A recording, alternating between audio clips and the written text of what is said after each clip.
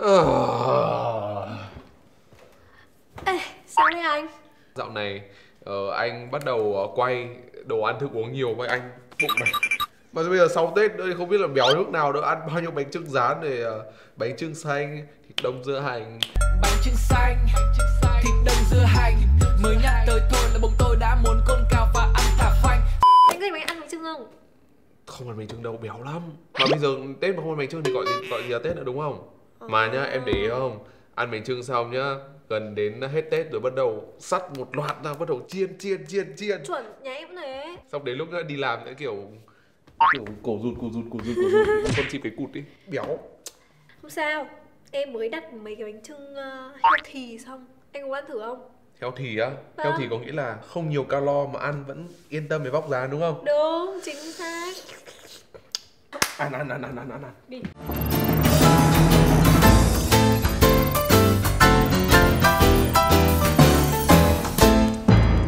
wow.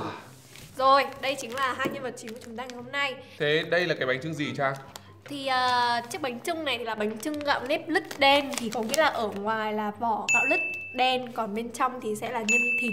Đây là bánh trưng mặn Còn với chiếc bánh tết này thì lại là nhân uh, đỗ thì à, hai chiếc bánh trưng này chúng mình mua ở Stay Healthy Kitchen.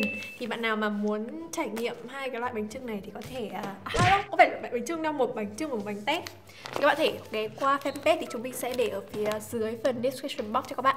Đỗ, Trang và Quỳnh biết là bánh tét và bánh trưng thì có gì khác nhau? Và mình mua một cái hình tròn. Ừ, Rồi, gì nữa? Ô, có tẻ lứt với nếp lứt à? Bây giờ mới biết điều đó. Quỳnh nó kiểu kiểu bị lót chậm ấy Này nhưng mà các bạn lưu ý nhá Không phải là cứ healthy là các bạn ăn bao nhiêu cũng không gầy đâu Mà bởi vì là nó chỉ có ít calo hơn So với mình biết là nó sẽ ít calo hơn so với bánh trưng truyền thống Chứ không phải là các bạn ăn là nó sẽ gầy đâu Mà các bạn ăn càng nhiều nó sẽ càng béo đấy Mà sao em ăn đồ healthy mà em không gầy? Một ngày em ăn một 10 đũa healthy thì em ờ, em sẽ gầy theo theo kiểu healthy à Quỳnh nghĩ sao? Muốn ăn quá. Bây giờ à, mình thử luôn đi. Một quá. cách healthy. Nhưng bây giờ cái chắc cái này là phải bóc phải dùng kéo để cắt ra.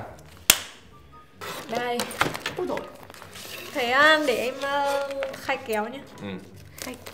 Bây giờ em đố um, anh Ngọc với cả chị Quỳnh cắt bánh trưng bằng lạt đấy Ui dễ. Quá Bây giờ á, mình chỉ cần tháo hết ra Sau đó mình để lạt ra sau Và sau đó mình cắt thành 8 đường. Thế Bây giờ em thách anh không tháo lạt ra nhưng vẫn tháo được lá ra. Đây của em tất. Phải biết bóc bánh trưng mới lấy được chồng chị Quỳnh. Chị đã đẻ rồi, cần phải- gì phải... Ui. Ôi, Này lúc mà em bóc ra Anh thấy như kiểu em đang vừa bóc bánh gai ra ấy. Mềm lắm ấy, không bị khô đâu nhá. Đây, bây giờ em phải cho lạt lên trên. Ừ. Như một con người thật sự Nhưng mà mình phải nhớ ấy, phải nhớ cái nào đặt đầu tiên thì mình phải bóc cái đấy đầu tiên cơ Đầu tiên là ngang này, xong rồi đến gì nhỉ? Dọc Ngang, Chéo. dọc, chéo, hai phát chéo Công ra tránh Này ngày xưa anh lúc anh còn ờ, ở trọ ấy Anh hay kiểu kiểu mấy đứa sinh viên với nhau sinh viên Việt Nam với nhau hay kiểu cứ cho thẳng cái thìa vào ờ, bụng đúng không? Không ăn. cắt đúng không? đúng rồi thế là xong Em còn bóc nửa cái bánh trưng ra xong rồi ngồi ăn giống bánh mì. Ờ. nào phục Cái lại này sẽ phải cắt bình thường đúng không ạ? Wow. Ồ, cảm ơn mọi người đã phổ cập cho em cách Bóc bánh trưng, sau cách này bóc bánh trưng và cắt bằng lạt. Tết này em sẽ thử luôn. các bạn thấy không Trang rất khéo Rồi, người nào mà đã bỏ lỡ Trang thì Ừm. làm mất ăn bánh trưng thế ờ, Nhìn nó không- bây giờ bây giờ không dùng cái lạt ờ. này để để cắt bánh bánh tét đi Đây, Chàng để chị thử, để chị thử, để chị thử. Như này à? ờ em thử đi là mình- này em lau đi Không phải sẽ đôi thế mà Đây này, À, à, nó tách kiểu này. tách sóc Ê, cắt đi nhá. Xấu hổ lắm. Ô, cho- ba lạt được 4 miếng nhỉ? Nên là cứ nghiêng đầu kiểu nó phải được 4 miếng bây giờ. Ok, sau một lúc hì hụi thì đây chính là thành quả của chúng mình Wow, các bạn thấy không? Nhìn nó Này, bình thường anh rất là dị ứng với, với mấy thứ màu đen ngòm nhá Nhưng mà cái này, đây là một cái, Cái màu tím à? Đây màu đỏ mà. Nó là màu đỏ, màu Tím nâu, mận màu tím. Màu mận. Ừ, ừ, Và cơ bản là anh thấy nó đẹp hơn những gì anh nghĩ. Ừ. Thơm, Thơm nhỉ? rất thơm, thơm kiểu Em- đúng em mùi bánh trưng luôn nó đấy thơm như thế đâu ấy. Nó vẫn giữ được cái mùi đấy mà nó có hơi hơi cái mùi ờ, mùi nếp cẩm vào ấy. Vẫn thấy người mùi nếp cẩm. À, Anh sẽ tặng Quỳnh miếng to, to nhất. Đấy thôi, anh làm đây. Ý anh là em béo chứ gì. Ok, ở đây thì mình thấy ngoài cái lớp vỏ ra thì nó có một cái lớp đỗ Đây là một lớp thịt cơ bản thì nó cũng giống như Đây. là Ừ. bánh trưng bình thường đúng không? Đây đây đây. đây hương nhìn này đây giống không khác gì bánh trưng bình thường Đúng cả rồi, nó vẫn nói là chung là lớp đấy anh nghĩ là nó chỉ khác nếu mà nhìn ở Lớp vỏ thôi ở cái trải nghiệm thị giác ấy thì nó chỉ khác ở cái màu sắc thôi còn bây giờ chúng ta sẽ thử ăn để xem là nó có cái điểm gì khác biệt nhá anh cũng hơi đói hôm nay anh ăn có một bát cơm để chờ đến cái này ừ ừ Ngon. Còn- Ăn ăn hơi lạ lạ. có điểm khác biệt nhá đấy là khi mà các bạn ăn cái gạo lứt này này các bạn sẽ thấy rằng nó không thực sự là dẻo nghĩa là nó rất dẻo nhá nhưng mà khi mà các em cắn vào ấy thì sẽ thấy là nó có hơi có, có cái gì đấy nó nhép nhép giòn giòn Nó giòn giòn. ừ.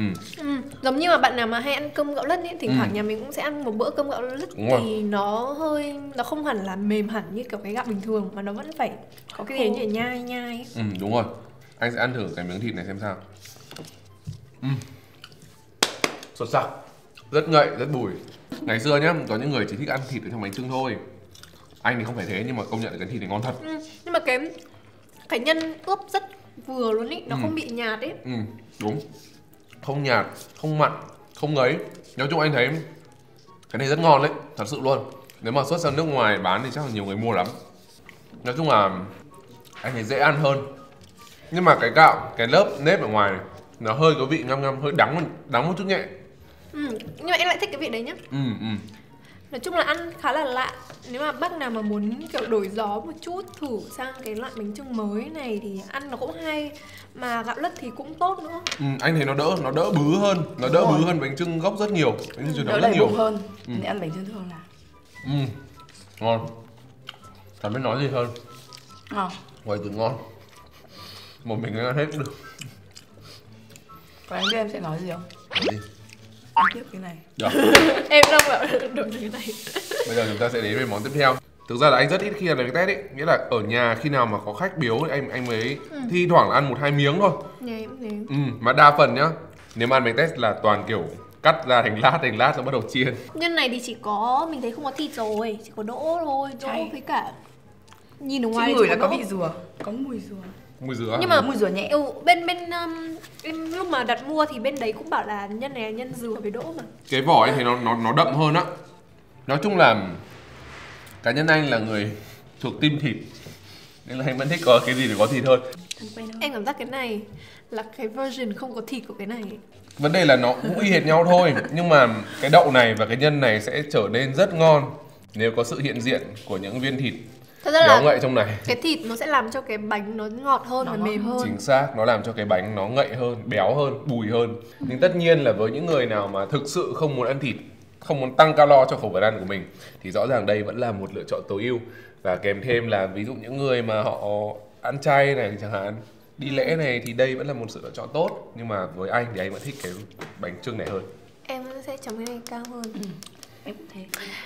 Rồi và đấy là trải nghiệm của chúng mình sau khi mà ăn bánh trưng, bánh tét healthy. Thì uh, đây là trải nghiệm cá nhân của bọn mình thôi và review trên cái cảm nhận cá nhân của bọn mình. Còn mình khuyên là mọi người nên thử mua để ăn và có trải nghiệm riêng. Biết đâu mọi người sẽ lại thích hơn bọn mình chẳng hạn. Và nơi mua thì chúng mình sẽ để link ở dưới phần description deep this Description. Description. lưỡi cả lưỡi. Rồi mọi người à, hãy trải nghiệm và để lại comment ở phía dưới cho chúng mình nhé Tạm biệt, bye bye